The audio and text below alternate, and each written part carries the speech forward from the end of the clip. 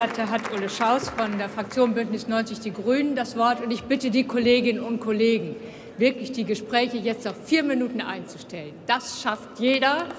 Dann kann nämlich die Kollegin auch so sprechen, dass Sie sie alle verstehen. Und dann geht es zur namentlichen Abstimmung. Sie haben das Wort. Sehr geehrte Frau Präsidentin, vielen Dank nochmal. Liebe Kolleginnen und Kollegen, liebe Gäste, Kultur braucht eine solide finanzielle Grundlage. 1,4 Milliarden Euro für das kommende Jahr. Das klingt zunächst gut, aber das Geld allein macht eben noch keine gute Kulturpolitik aus.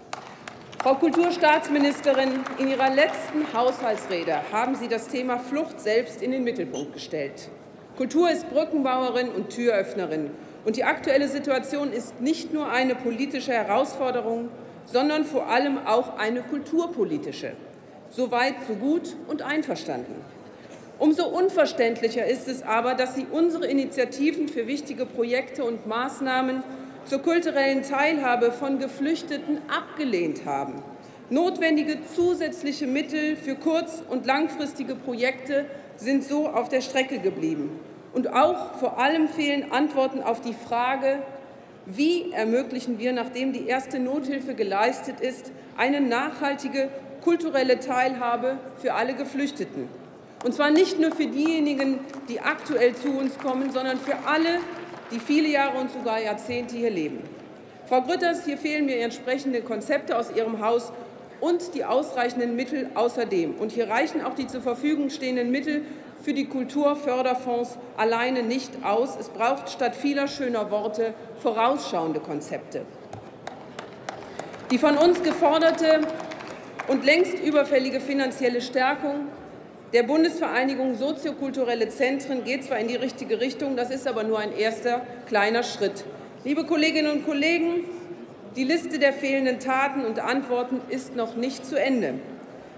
Die Stiftung Flucht, Vertreibung, Versöhnung hat bereits seit einem Jahr keine Direktorin bzw. keinen Direktor mehr. Aus dem wissenschaftlichen Beraterkreis hagelt es Rücktritte.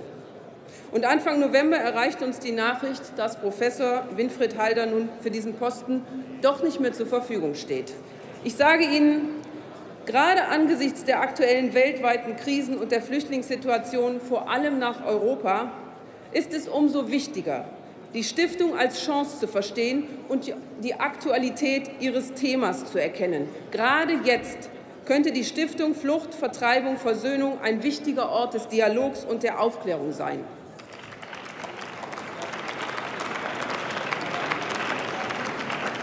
Dafür darf sie allerdings keine nationale Nabelschau betreiben, sondern muss Flucht und Vertreibung als universelles Phänomen verstehen. Erinnerung kann ein Schlüssel für Empathie sein. Dafür braucht es allerdings eine ernst gemeinte konzeptionelle Aufstellung und keine Besetzungsquerelen, die Ihnen und Ihrem Haus wiederholt aus dem Ruder laufen, Frau Grütters.